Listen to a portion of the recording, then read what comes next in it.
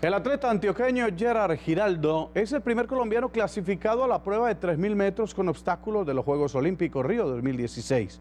Aquí están sus eh, declaraciones. Para ir a los Juegos Olímpicos piden la marca de 2 horas 19 minutos y yo hice 2 horas 17. La clasificación fue este domingo en Alemania, en la maratón de, de Hamburgo, donde fui el mejor colombiano con marca mínima para ir a los Juegos Olímpicos. Bueno, yo clasifiqué también en 3.000 metros de obstáculos, eso fue el año pasado, donde fui campeón suramericano de pista en Lima, con marca mínima para los Juegos Olímpicos. Y lograr esa clasificación para mí es algo muy importante porque pues voy a ser el primero, primer colombiano que haga esa prueba olímpica, entonces, no sé, siento mucha responsabilidad